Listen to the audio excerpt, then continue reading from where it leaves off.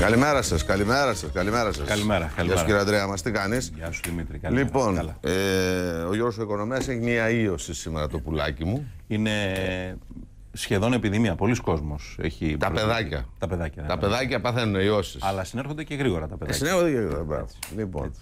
Οπότε σήμερα δεν τον έχουμε κοντά μας. Αύριο ελπίζουμε να είναι καλά. Εντάξει, δεν κρατάνε πολύ αυτές οι ιώσεις. Είναι και σκύλι μαύρο αυτός, μην τον βλέπεις έτσι. Είναι, αντέχει, είναι αντέχει. πολύ ανθεκτικός αυτός. Αντέχει, αντέχει, αλλά δώσαμε σήμερα έτσι άδεια να πήρε